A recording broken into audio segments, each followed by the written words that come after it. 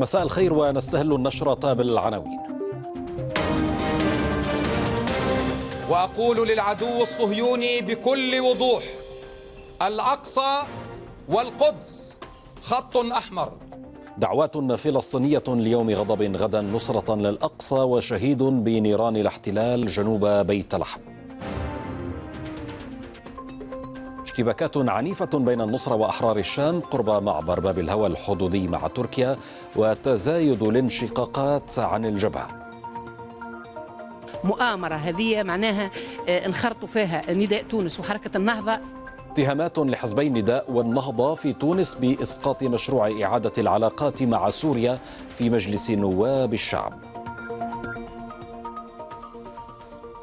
دعا رئيس المكتب السياسي لحركة حماس إسماعيل هنية إلى الانتفاض نصرة للمسجد الأقصى بمواجهة اعتداءات الاحتلال.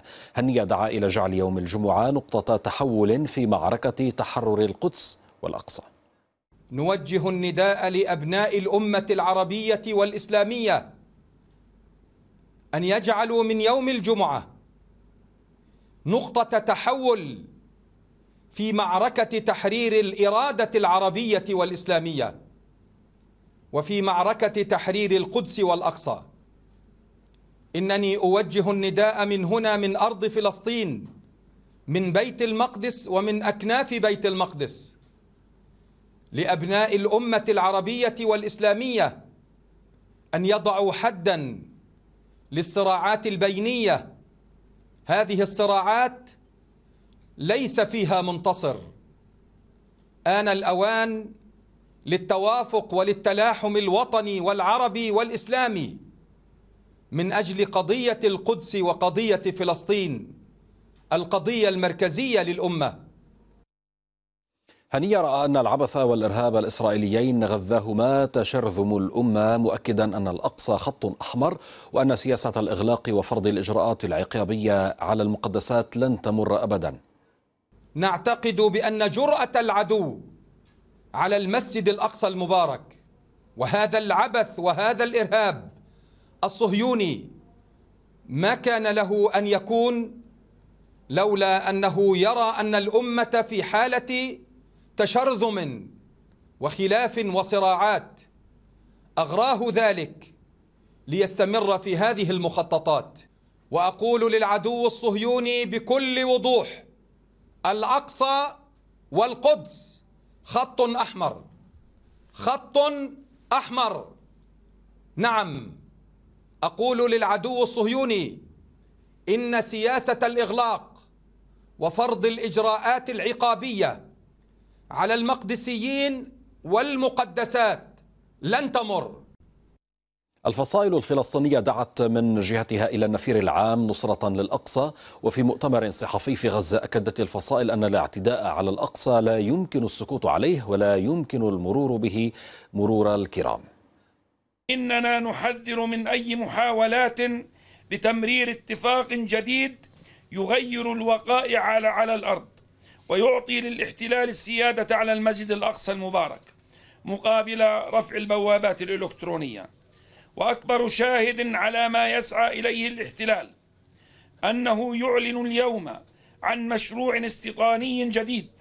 نحن اليوم في مواجهة ليس مع البوابات فقط بل مع كل الإجراءات الصهيونية في الأقصى ومحيطه وأحياء القدس.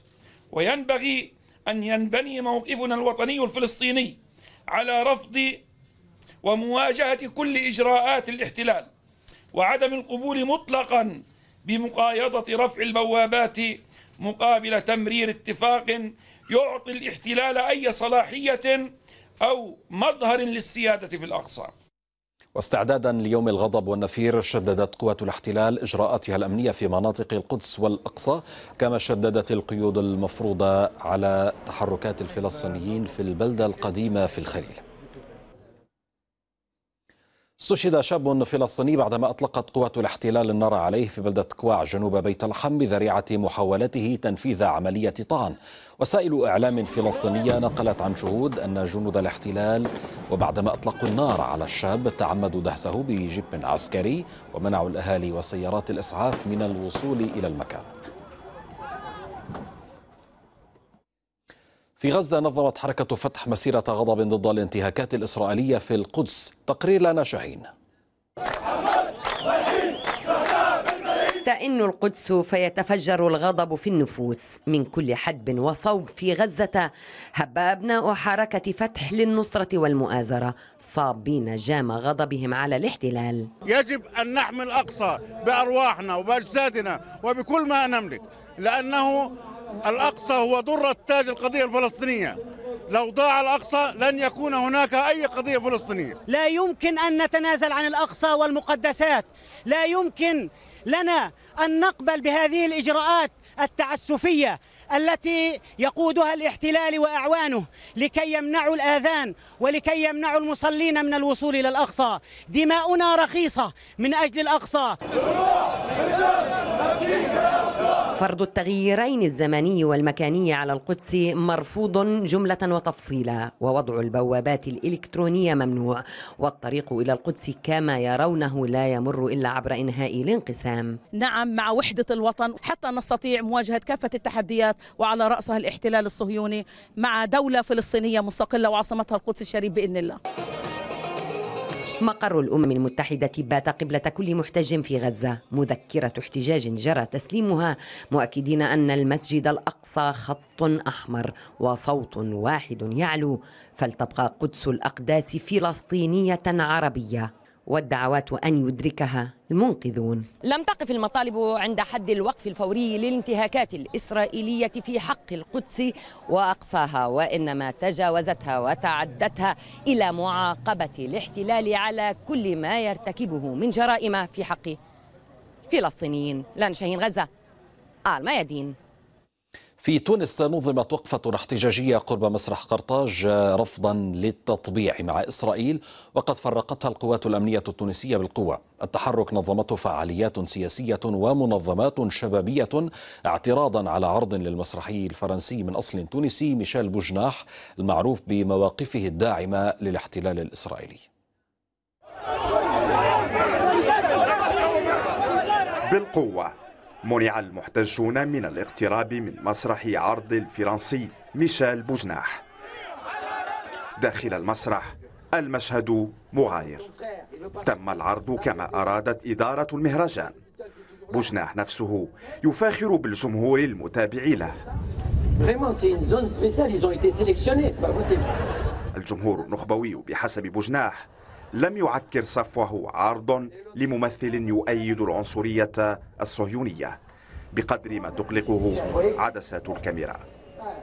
هكذا إذا عرض هنا وحناجر جفت هناك مطالبة بالتمسك بإحدى أهم ثوابت التونسيين الانتصار إلى أم القضايا فلسطين. الإجابة دائما ستكون واضحة وستكون قوية. لا أمل لكم في تمرير التطبيع كيان الصهيوني اقتلنا توانسة عندنا ثأر عندهم ولن يمروا مواقف بوجناح الداعمة صراحة للاحتلال الإسرائيلي. وتجاهل القائمين على الشأن الثقافي في تونس لنداءات الشارع التونسي المطالبة بإلغاء العرض. دفعت بتيارات وطنية ومنظمات شبابية وحقوقية إلى تسجيل الموقف. ازدراء الأديان والفنون أمر غير مطروح في تونس الثورة بقدر ما يذكر شبابها أنه لا كرامة من دون قطع الطريق أمام التطبيع بكل أشكاله ما عندناش مشكلة مع الفن لأن نحن محبي حياة ومحبي فن. نحن عندنا مشكلة مع عقيدته اللي هي عقيدة صهيونية. نظام كامل على مدى سنوات خدم على زرع فكرة آه أنه التطبيع مسموح به وأنه فما أشكال معينة مسموح بها. يقول المحتجون إن قضية تجريم التطبيع لم تعد مطلبا بل أصبحت معركة مفتوحة. انتصارا لعشرات الشهداء التونسيين في سبيل خلاص فلسطين من جور الاحتلال. فدماء الشهيد المهندس محمد الزواري لم تجف بعد. يا شهيد! دربك يا النحيب على مرمى حجر من مسرح قرطاج يتظاهر هؤلاء رفضا لعرض للمسرحي الفرنسي من أصل تونسي والداعم لسياسة الاحتلال الإسرائيلي ميشيل بوجناح. وتوجسا من أن تضحى مسألة التطبيع مع إسرائيل مجرد وجهة نظر. بلال مبروك تونس الميادين. النشرة مستمرة وفيها أيضا. الحكومة التونسية تؤكد أن الحملة على الفساد لن تستثني أحدا.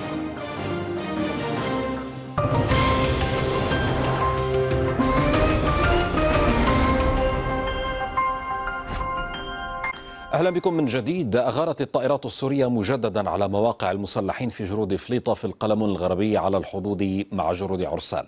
الغارات أدت إلى تدمير تحصينات مسلحي جبهة النصره بالكامل ومقتل من بداخلها. يأتي ذلك بعد ساعات على غارات سورية على مواقع النصره في مناطق قريبة من الحدود الفاصلة مع جرود عرسال وتحديدا في جرود فليطة ومعبر الزمراني في القلمون. في غضون ذلك أفادت مصادر ميدانية الميادين بأن مصطفى الحجيري المعروف بأبو تقية التقى أبو مالك التلي بإعاز من رئيس الحكومة اللبنانية سعد الحريري بهدف إيجاد تسوية وتفادي إراقة الدماء لأن قرار الدولة حول القلمون جازم. المصادر أكدت أن أبو مالك التلي ما زال متعنتا ويرفض أي حل ما لم تلبى شروطه. وأشارت إلى أن الأجواء سلبية ويبدو أن الحل العسكري بات خيارا وحيدا.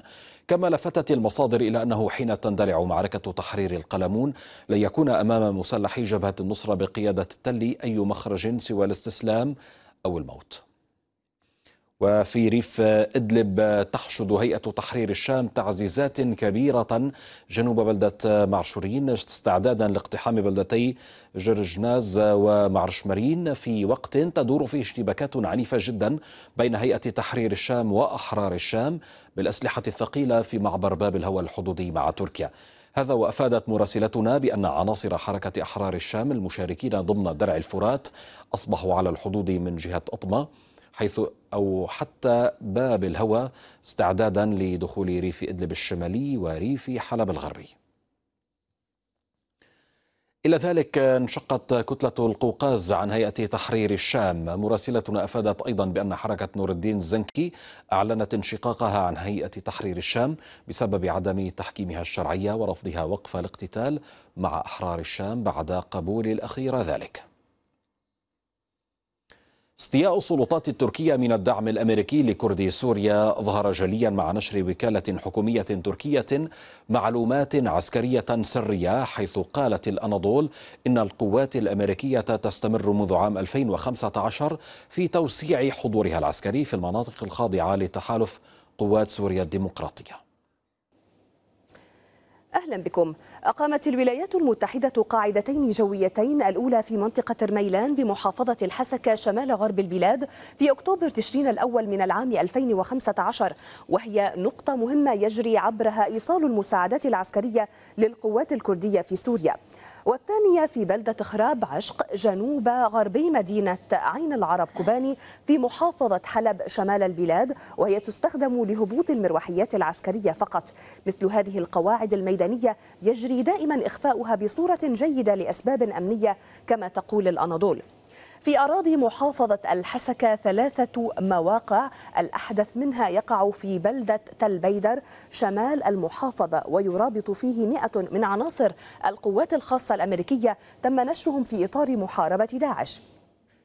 الموقع الثاني تم إنشاؤه في منطقة شدادي جنوب الحسكة وفيه نحو 150 عنصرا من القوات الخاصة الأمريكية بهدف دعم عمليات قوات سوريا الديمقراطية ضد داعش. أما الموقع الثالث فيقع في منطقة تل تامر الزراعية على الحدود السورية التركية ويعمل فيه عدد غير محدد من عسكريي التحالف الأمريكي. وفي مدينة منبج أقامت الولايات المتحدة مركزين لقيادة العمليات عام 2016 بعد أن انتزعت قوات سوريا الديمقراطية السيطرة عليها من داعش. الموقع الأول يقع في بلدة عين دادات قرب المدينة. هذا المركز قد يستخدم من قبل القوات الأمريكية لمراقبة تحركات فصائل الجيش الحر على ما تقول الأناضول. مركز القيادة الثاني يقع في بلدة أوشارية وتستخدمه واشنطن لضمان أمن عناصر قوات سوريا الديمقراطية أمام الجيش الحر. وفي محافظة الرقة النقطة العسكرية الأولى تقع في مستنور جنوبي عين عرب وتضم مقاتلين فرنسيين بالإضافة لجنود أمريكيين. أما الموقع العسكري الثاني فهو في مدينة عين عيسى شمالي الرقة تسيطر عليه قوات سوريا الديمقراطية ويعمل فيه بحسب الأناضول 200 عسكري أمريكي و75 عنصرا من القوات الفرنسية. وفي مدينة صرين شمال غربي مدينة عين العرب في محافظة حلب موقع عسكري أمريكي كبير يستخدم لاستقبال طائرات الشحن العسكرية وتجري عبره عمليات توريد الأسلحة والمعدات العسكرية لقوات سوريا الديمقراطية. اتهمت الجبهة الشعبية المعارضة في تونس حزبي النداء والنهضة بالتآمر لإسقاط مشروع اللائحة النيابية المتعلق بإعادة العلاقات مع سوريا. وكان مجلس نواب الشعب قد أسقط اللائحة التي صوت لمصلحتها 68 نائبا وعرضها ستة نواب بينما امتنع 27 آخرون عن التصويت. تقرير مراد ننسي مشروع اللائحة البرلمانية المطالب بإعادة الحكومة التونسية لعلاقاتها الدبلوماسية مع سوريا لم يحظى بموافقة البرلمان. 68 نائبا فقط صوتوا لصالح المشروع بينما كان يتطلب تمريره موافقة 109 نواب.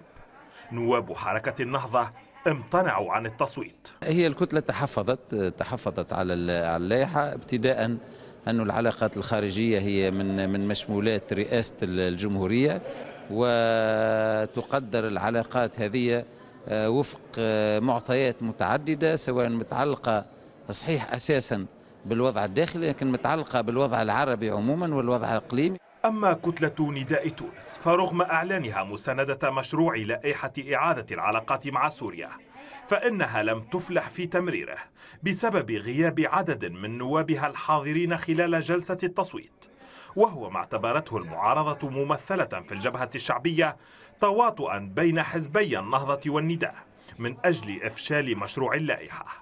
موقفنا كحزب وموقف ككتلة هو موقف مع إرجاع هذه العلاقات لكن مالوريزمون الوقت اللي صار فيه التصويت على إثر الجلسة العامة في نهايتها كان فما بعض الغيابات هي اللي أثرت على اللائحة هذه إنها ما تعدش اليوم حصل في البرلمان عمل داعشي بامتياز عمل لا أخلاقي مؤامرة هذه معناها انخرطوا فيها نداء تونس وحركة النهضة يعني بأوامر صهيونية مباشرة. هذه معناها طموحات الشعب التونسي نحو إعادة العلاقات مع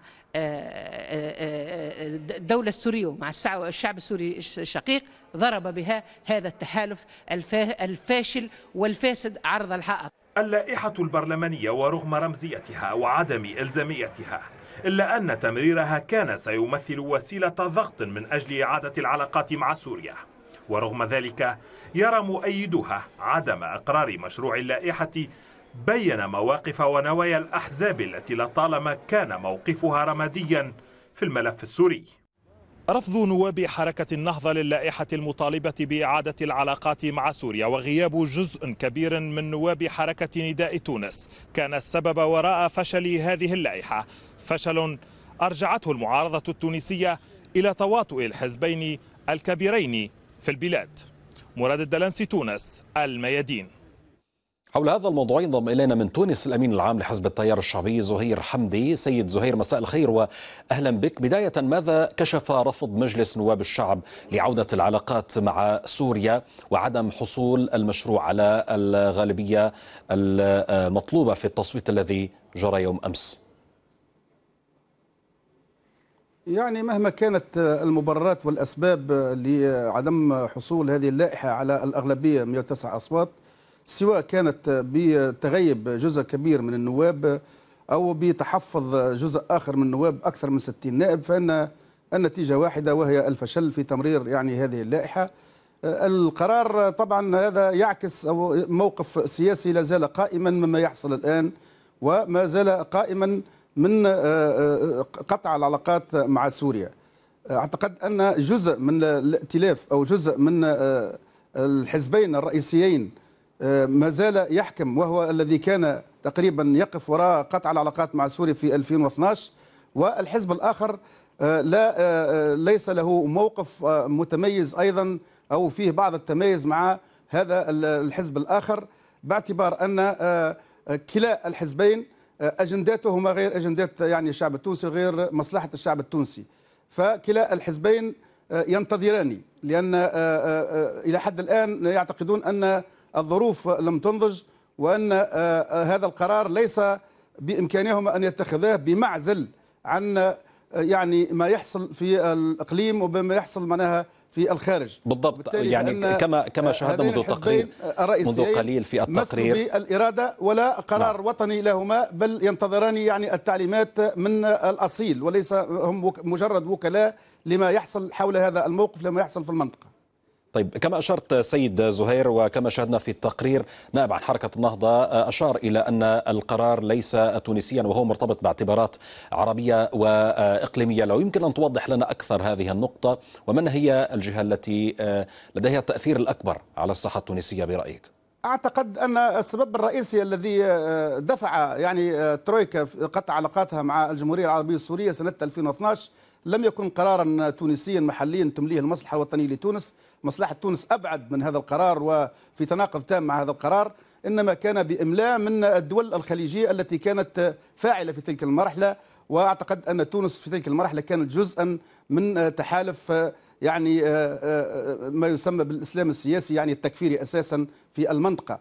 وأعتقد أن 2014 كان هناك أمل كبير مثل ما وعد رئيس الجمهورية الحالي في برنامجه الانتخابي بأن سيتم هناك تغيير في الموقف السياسي وفي العلاقات الخارجية لتونس وسيعيد العلاقات الدبلوماسية مع سوريا واعتبره خطأ في هذا الاتجاه ولكن الآن نجده قد انحاز إلى الموقف الذي ثبت منذ ولماذا لم تقم حركة نداء تونس بأي خطوة باتجاه إعادة العلاقات مع سوريا كما وعدت خلال حملتها الانتخابية؟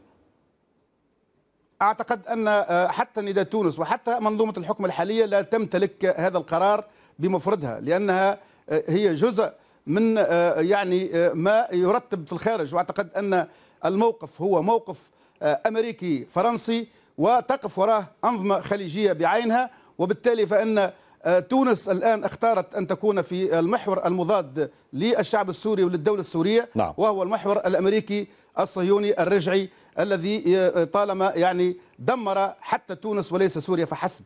طيب سيد زهير ماذا بعد فشل تش... تمرير مشروع اللائحة؟ برأيك ما هي الخطوات التي ستلجأ إليها الأطراف أو الكتل التي تقدمت بمشروع اللائحة الذي يطالب بإعادة العلاقات مع سوريا؟ أعتقد أن القرار هو قرار سياسي من أعلى مستوى ولا علاقة له بما يتم تمريره في البرلمان. هو مسألة رمزية أكثر منها يعني مسألة غير حتى اللائحة حينما مررت ليست ملزمة في حد ذاتها مهما كانت النتيجة لرئيس الجمهورية. لو كانت هناك إرادة سياسية من أعلى مستوى في السلطة لا اتخذ هذا القرار منذ اليوم الأول. ولعادة العلاقات وفي ذلك معناها مصلحة لتونس ومصلحة لسوريا نعم. ومصلحة للمنطقة. ودعني أذكر أن تونس يجب أن يعني تتذكر فضل الجيش العربي السوري وصموده يعني وحمايته لدولته في حمايته لسوريا وحمايته للدولة السورية وصموده في مواجهة المشروع التكفيري الصهيوني في المنطقة كان في حماية أيضا لتونس لأن حينما تقهقر هذا المشروع في سوريا يعني نجحنا نحن في تونس في أن نلملم معناها جراحنا وأن نتغلب على المجاميع التكفيرية نحن سوف نظل في نمارس كل أساليب يعني الضغط نعم. من أجل أن تعاد الأمور إلى وضع الطبيعي لأن الوضع الطبيعي بين تونس وسوريا هو العلاقات الدبلوماسية الطبيعية وأنه كل ما عدا ذلك هي قرارات مسقطة لا علاقة للشعب التونسي بها وهي ضد إرادة ومصلحة وأمن الشعب التونسي والشعب السوري على حد سواء. شكرا جزيلا لك الأمين العام لحزب التيار الشعبي زهير حمدي كنت معنا من تونس. ونبقى في تونس حيث شدد رئيس الحكومة يوسف الشاهد على أن المعركة ضد الفساد لن تستثني أحدا مشيرا إلى أنها السبيل الوحيد لإنقاذ البلاد من الانهيار. فيما عدتها قوى المعارضة حملة انتقائية لخدمة أجندات حزبية والتمهيد لأهداف انتخابية. عماد شطارة. لا حملات التشويه ولا التهديد ولا الضغط مهما مهما كانوا. ما همش باش يخليونا نتراجعوا على المسار هذايا. رسالة واضحة أراد الشاهد توجيهها إلى منتقده قبل مؤيديه مؤكدا أن الحرب على الفساد لن تستثني أحدا برغم مساعي البعض لتشويه عمل الحكومة مؤكدا أن اليد العليا ستكون للقانون منعا لانهيار الدولة ولإعادة الثقة إلى المواطنين. ساعات يلزمنا ننسى أنفسنا ونعضوا على قلوبنا ونوقفوا حتى ضد الناس اللي نحن مختلفين معاهم لأنه المعركة اللي خوضها اليوم حكومة الوحدة الوطنية أو كما يقال حكومة النهضة والنداء هي معركة وطنية معركة عادلة معركة لمصلحة الوطن كله والمعارضة جزء من هذا من هذا الوطن. برغم تأكيد الشاهد أن الحرب على الفساد مفتوحة ومتواصلة لم تخفي المعارضة مخاوفها من أن تكون هذه الحرب حصان طروادة. تستخدم واجهة تخفي خلفها أجندات حزبية ومصالح شخصية الواقع السياسي آه، اللي هو متواجد فيه واللي أعتقد أنه غير ملائم أنه يواصل الحرب هذه إلى إلى نهايتها إن شاء الله نكونوا غلطين وإن شاء الله السيد رئيس الحكومة يتغلب على العوائق اللي هما داخل الائتلاف الحكومي مش خارجه. أنا نعتقد محاولة للتغطية على الوضع الاجتماعي والمطالب الحقيقية الفعلية للتوانسة والأخطر من هذا هو تعبيد طريق ل 2019 يوسف الشاهد انتسب للحساب الخاص ضد عرفوا اللي جابوا الباجي قايد سبسي واليوم الدولة التونسية بين عصابتين عصابة الباجي وولده ومن وراه زبانية متاع النداء تونس وعصابة يوسف الشاهد. انتقادات عديدة وجهها النواب إلى الشاهد في حربه ضد الفساد. في مقدمتها تباطؤ الحكومة في فتح ملفات فساد كبرى وتأخرها في ضرب رموز فساد ينعمون حتى الآن بالحرية فضلا عن عدم قدرتها على إصلاح قطاع الجمارك والقضاء على التهريب. هي حملة لن تستثني أحد من رموز الفساد غايتها فرض القانون والانتصار لمصلحة البلاد. هكذا يقدم الشاهد الحرب على الفساد فيما تراها المعارضة حملة لاستهداف عدد من رموز الفساد لتعبيد الطريق أمام الشاهد في انتخابات عام 2019 عماد شطارة تونس الميادين. وقبل الختام هذا تذكير بأبرز العناوين. وأقول للعدو الصهيوني بكل وضوح الأقصى والقدس خط أحمر. دعوات فلسطينية ليوم غضب غدا نصرة للأقصى وشهيد بنيران الاحتلال جنوب بيت لحم. اشتباكات عنيفة بين النصرة وأحرار الشام قرب معبر باب الهوى الحدودي مع تركيا وتزايد الانشقاقات عن الجبهة. مؤامرة هذه معناها آه، انخرطوا فيها نداء تونس وحركة النهضة. اتهامات لحزبي النداء والنهضة في تونس بإسقاط مشروع إعادة العلاقات مع سوريا في مجلس نواب الشعب.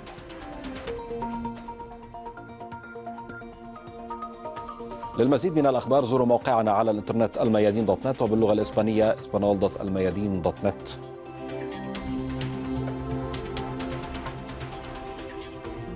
شكرا للمتابعة وإلى اللقاء.